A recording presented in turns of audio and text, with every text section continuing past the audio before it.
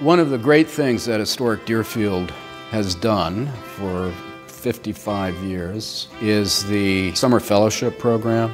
It's wonderful for us to have young people learn about history and preservation in hopes that they might pursue a career in museums. The legacy for Historic Deerfield is profound. My summer as a fellow at Historic Deerfield really convinced me that American Decorative Arts, historic material culture was where I wanted to spend my life. And I feel like that now. I, I, I go back whenever I can and uh, really cherish the place.